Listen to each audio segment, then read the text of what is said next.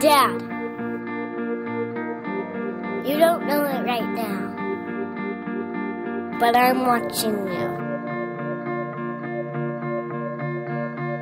Watching the things you do. I'm watching the way you treat people. The way you treat me and my mom and my sister. The way you live your life is having a big impact on me.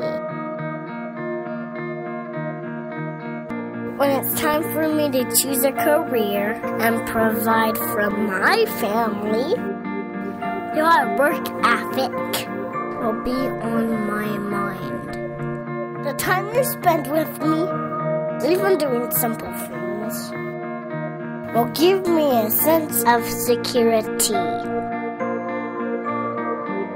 There will be times in my life where I struggle with integrity, and I may be not sure what to do.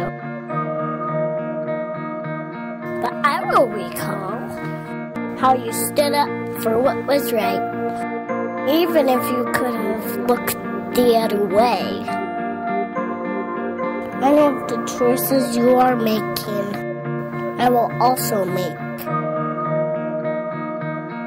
Please don't be afraid to show me your failures, to show me your mistakes. I will learn from them. Dad, are you listening? I'm watching. Watching to see if you really believe what you say about God. I need you to help show me the way.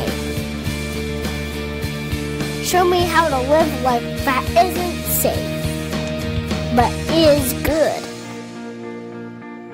So I'm watching you, Dad, every day. You're teaching me how to live, whether you know it or not.